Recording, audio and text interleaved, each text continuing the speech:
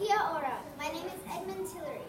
I'm an explorer from New Zealand and was well known for exploring Mount Everest. I was the first person to successfully summit Mount Everest along with Tenzing Norgay. And but it took me seven weeks to reach the top. I got to the top on May 29, 1953, and got knighted by Queen Elizabeth II a week later. I'm known as a kind, risk-taking person. As a child, I went to a local primary school in Tuakau and helped my father in his beekeeping business. Then I eventually quit school to work I started to go mountain climbing when I was a teenager. People think I'm brave because I climbed to the top of Mount Everest, which is the tallest mountain in the world. I think I'm a risk taker because I climbed Mount Everest knowing I could die from it.